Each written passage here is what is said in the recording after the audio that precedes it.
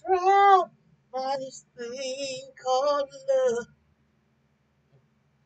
Oh my goodness. Hey y'all, what's this whole world coming to? Things just ain't the same.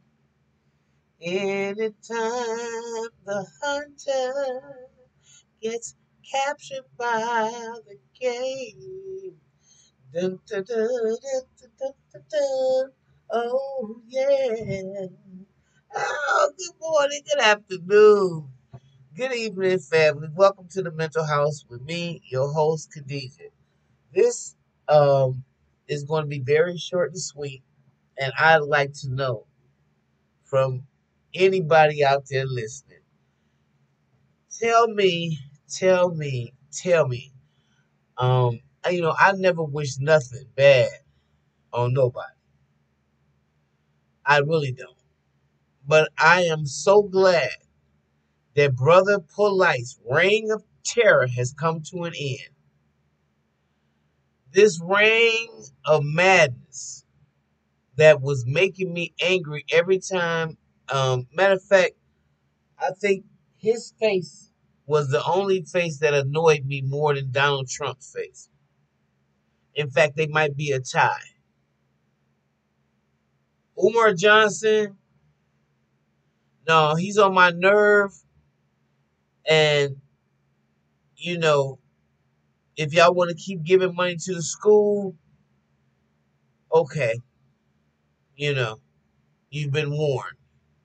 But this dude here, this brother Polight, Kev Gills, he tried to get him.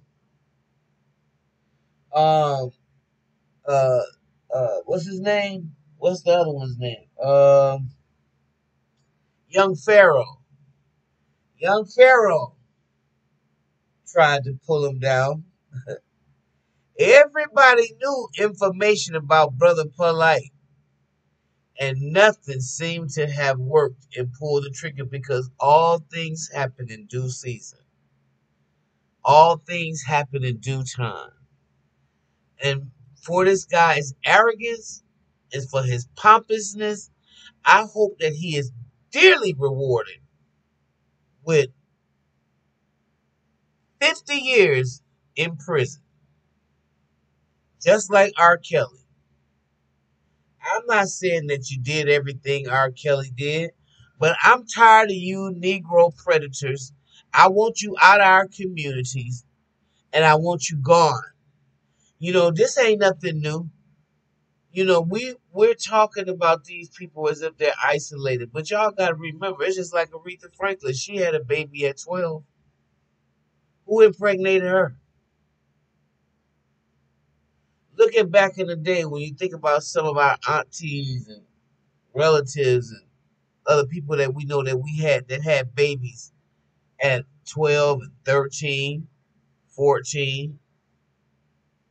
In fact, I know a girl that had a baby at 11. Um, they didn't get they didn't get pregnated by 11 year olds and 12 year olds. They got pregnant by old ass dudes like a brother Polight or uh uh R. Kelly.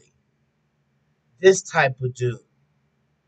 And you know, for all of y'all that get up here and talk all that um stuff about Little Nas X or you know people's sexuality, you know, I don't hear nobody going in but women the way they should be going in on these brothers. I don't hear black men going in on Brother Polight or going in on R. Kelly. Matter of fact, y'all was such an enabler for R. Kelly that is pathetic. And I hope all of y'all get y'all what y'all deserve too. Because, like I said, I never knew none of that stuff was going on when it came to R. Kelly. Oh, yeah, I knew he had some perversions and some crazy proclivities. I don't know nobody that don't, be honest with you. But not that shit. That what? Uh uh No. And brother Polight. What about Amunet, the damn first wife? What happened? Where'd she run off to? See, you know that whole enterprise, and it just irks me and hurts me so bad when I see people take advantage of my people this way. And so gullible. It's like we are perpetually miserable, just like Willie Lynch said.